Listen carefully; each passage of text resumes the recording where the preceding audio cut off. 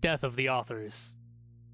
Item number SCP 5500. Object class Apollyon. Level 0 5500. Classified. Special containment procedures.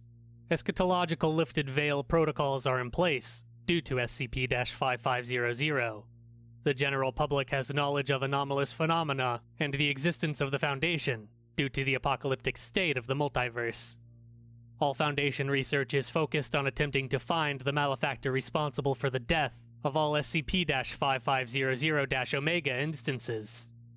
All current motives and persons associated with the deaths of 5500 Omega instances are under investigation. Scarlet Letter investigative protocols are utilized throughout this file and related documentation to convey information. Memetically coded text, which is color coded red and underlined, used to convey information learned about the malefactor and the method of the murders in such a way that only entities who exist above the known universe can see them. Description SCP 5500 refers to an ongoing ZK class reality failure scenario affecting at least 9,245 universes as a result of the deaths of several instances of SCP 5500 Omega. SCP 5500 Omega are humanoid, possibly human, entities that exist in a reality above the greater multiverse observed by the Foundation. These entities have the capability to alter our reality and adjacent realities through the medium of creative writing, though the amount of influence they have is unclear. The death of an SCP 5500 Omega instance causes severe metaphysical backlash to the universe or entities it had a part in influencing. The broadness of the sphere of influence varies, as does the corresponding level of destruction.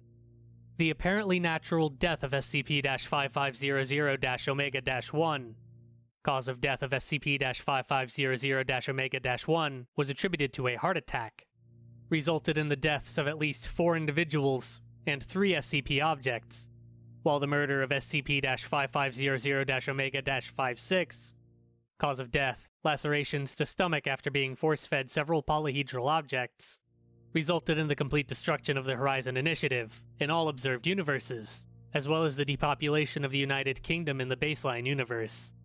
SCP 5500 A is the third iteration of a device which was meant to observe SCP 5500 Omega instances in their reality. Further information is classified and stored only on hard copy at the following address